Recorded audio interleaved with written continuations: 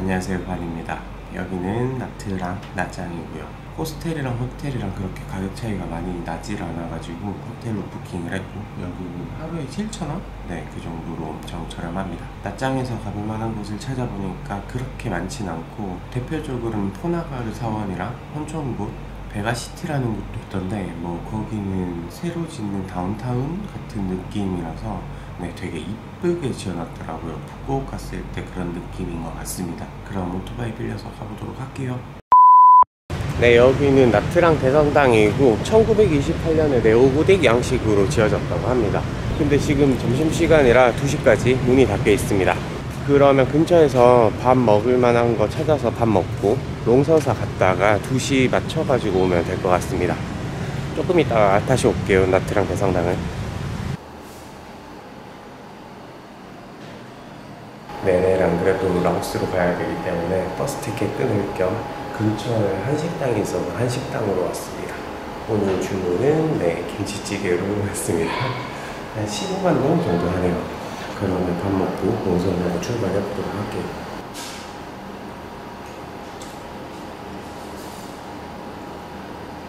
한국 사람이라 그런지 네, 한식이 제일 맛있습니다.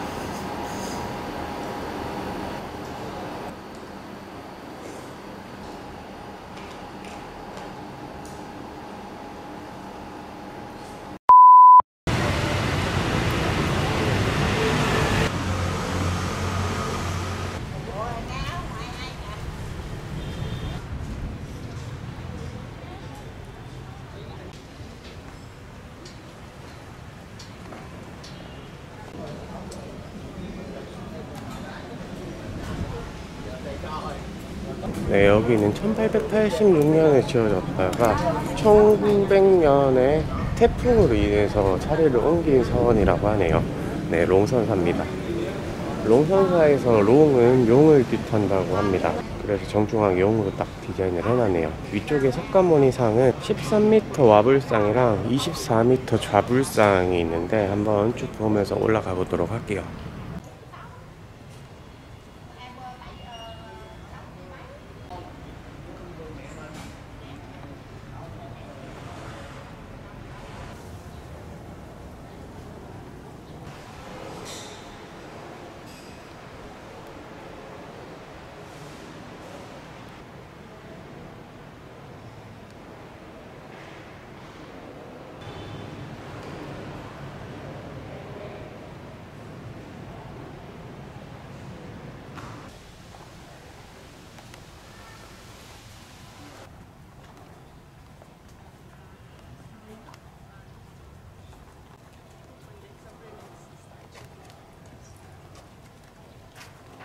롱선사는 여기저기 나는 향냄새가 되게 괜찮네요.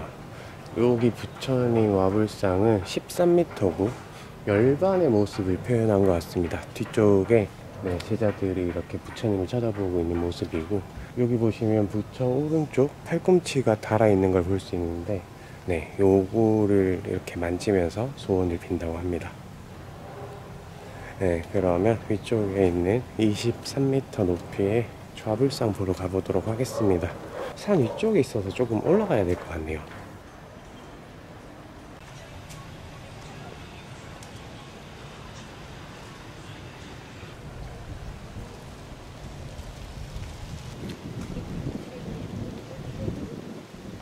네, 여기 동상이 흰색이라 낮장 어디에서도 네, 조금 높은 곳에 위치해 있어서 보입니다. 다만 여기가 그렇게 막 미친 듯이 높은 곳은 아니라서 나짱 시내가 보이는 viewpoint라고는 할 수는 없겠네요. 기단에는 총 7분의 고승 흉상이 있는데 제가 스님들을 다 외우진 못하지만 베트남에서 가장 중요한 틱광득 스님은 올라오자마자 제일 바로 앞에 딱 위치해 있습니다. 뭐 나중에 훼 가서도 이야기 드릴 텐데 틱광득 스님은 불교 억압 때문에 소신공양을 하신 분이고 스님에 대해서는 나중에 한 번 더 이야기해 드리도록 하겠습니다. 그러면 롱선사도 쭉 봤으니까 네, 나트랑 대성당 다시 가보도록 할게요.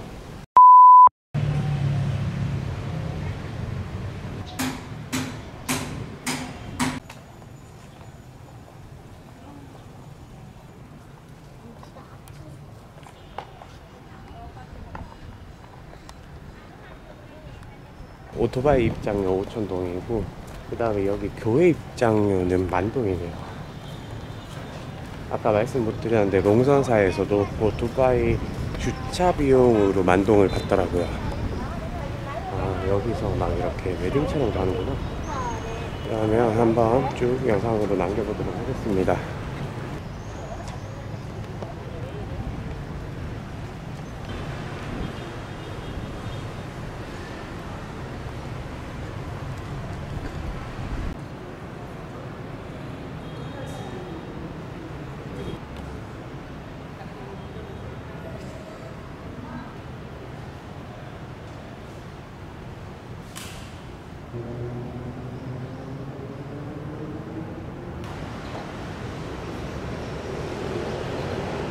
네, 1928년이면 거의 100년이 다 돼가는데 어, 건물 이쁘게 생겼네요 진짜.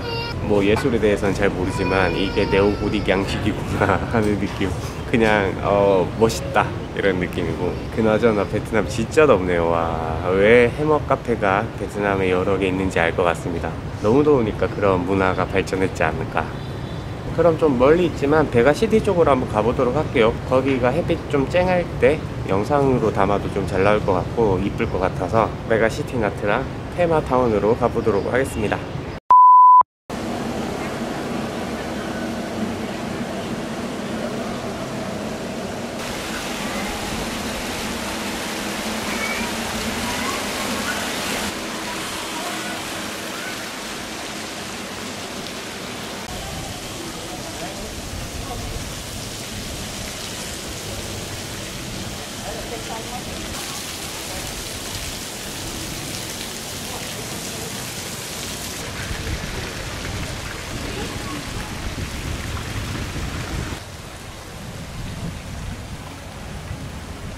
여기가 낮잠 베가 시티인데 한 50% 정도 만들어진 것 같네요. 공사 진짜 많이 하고 있습니다.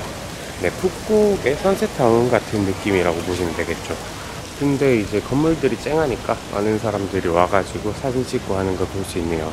2, 3년 뒤쯤에 완전히 만들어지면 진짜 이쁘게 딱 조성되지 않을까 싶습니다.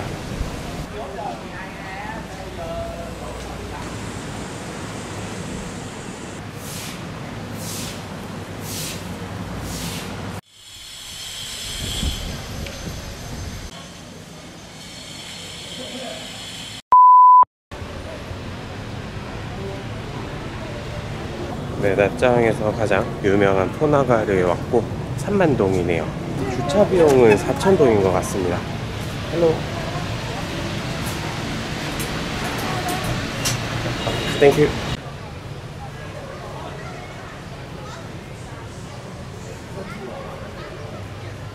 네, 포나가르 사원은 8에서 13세기에 지어진 참파 왕국의 유적지고 1979년에 국가기념물로 지정이 되었다고 합니다.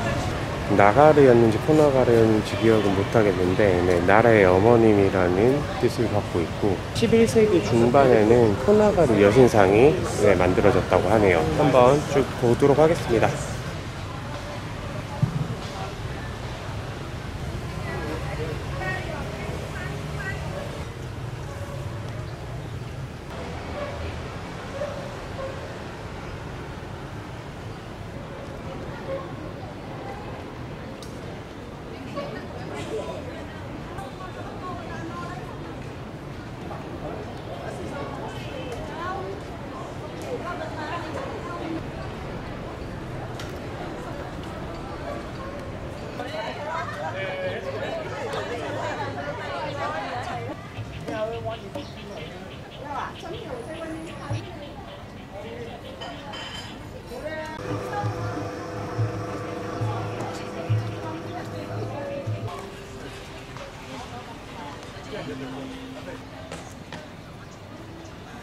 네, 천파 왕국의 성소는 총 4개고 거기다 요니와 링가가 있는 걸 봐서는 천파 왕국이 건설할 때 큰애를 영향을 받았다고 할 수 있겠죠.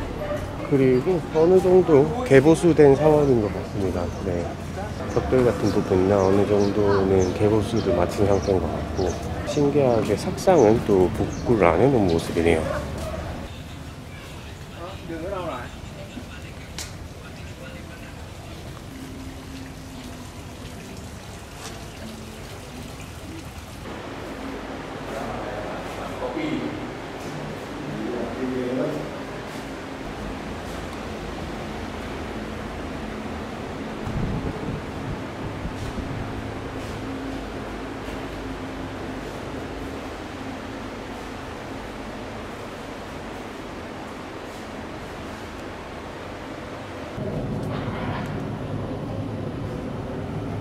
샤워는 그래도 조금 넓고 잘 정비되어 있는 상태라 뭐 돌아보시기는 좋을 것 같습니다. 쇼룸 들어가니까 내 생각했던 것처럼 여기는 복원이 된 사원이 맞는 것 같고 그래도 깔끔하게 잘 복원했다고 할 수 있겠죠. 그러면 저녁 6시에 혼촌곳이 문을 닫으니까 혼촌곳으로 가서 네, 바닷가 구경 한번 해보도록 하겠습니다.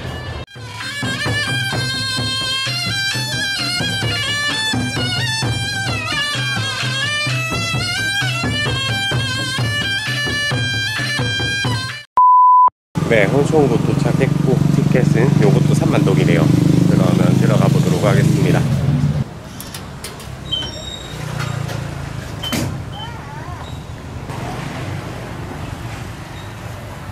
여기는 정원 가꿔져 있고 혼천곳은 저 아래쪽으로 내려가야 되는 걸로 알고 있습니다.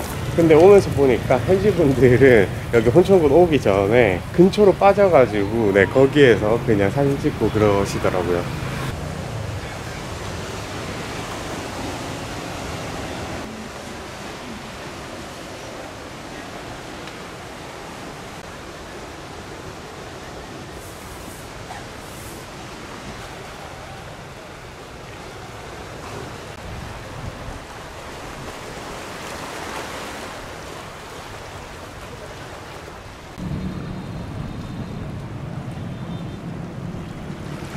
무인에서 말씀드렸다시피 곳은 해안에서 툭 튀어나온 곳을 보고 말하는 거고 여기 혼촌 곳에도 상당히 많은 기계 암석이 있습니다. 근데 한편으로는 낮장이 그렇게 볼만한 게 없으니까 이런 걸 만들어 놨지 않나. 네, 입장료가 3만동인데 사실 그냥 해변가랑 뭐 별다를 건 없다고 보입니다. 위쪽으로 올라오면서 알았는데 저쪽에 뒤에 보이는 곳이 네, 해수욕장이더라고요. 네, 홍천곳에서 포인트는 요거고 거인이 웅크 잡았다고 해서 소모양이 저렇게 남아있다고 하네요. 사실 거인이라 치기에는 그렇게 크진 않아요. 네. 아까 제가 말씀드렸다시피 네, 현지 분들은 저쪽 편에 입구로 오질 않고 반대쪽으로 이렇게 돌아가지고 저쪽에 오토바이 세우고 그 다음에 바닷가 많이 보시더라고요.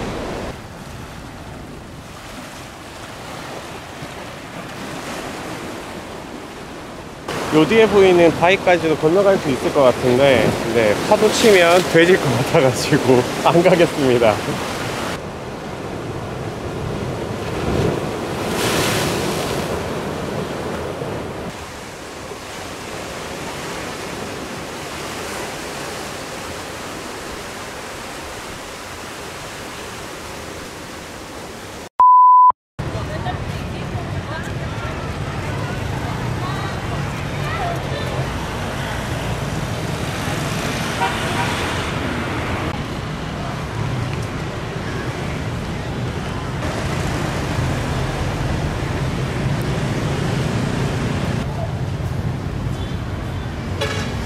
네, 여기가 짜명타워고 야시장 바로 반대편에 있는 곳입니다. 근데 야시장 한번 가봤는데 그렇게 크지도 않고 진짜 직선으로 이렇게 쭉 되어 있는데 굳이 야시장은 안 가고 패스하도록 하겠습니다. 하여튼 오늘은 이렇게 낮장을 한번 돌아봤고 낮장에 관광 명소가 그렇게 많지 않아가지고 어, 볼만한 게 그렇게 많이 없는 근데 바닷가를 끼고 있어서 뭐 해수욕장이라던가 이렇게 인프라는 조금 잘 되어 있기 때문에 뭐 많은 한국 분들이 찾지 않을까. 내일은 꼰뚬 가는 버스를 타고 거기에서 BOI 네, 보이라고 불리는 듣도 보도 못하는 국경을 넘어서 라오스 팍세로 갈 예정인데 저녁에 출발을 해가지고 그 다음날 새벽에 콘툼 도착하고 내일 모레 뭐 미니밴이라던가 그걸 타고 라오스로 들어가지 않을까 그러면 오늘 영상은 여기까지 하고 네, 내일 라오스로 넘어갈 준비를 해보도록 할게요. 라오스 가서는 뭐 팍세나 시판돈 쪽으로 내려가가지고 남부 라오스 구경하고 다시 베트남으로 올 예정이고 라오스에서는 조금 여유 갖고 영상 편집도 좀 하면서 쉬엄쉬엄 다녀보도록 하겠습니다. 그러면 내일 이어서 영상 찍어보도록 하겠습니다. 이번 영상은 여기까지 할게요. 안녕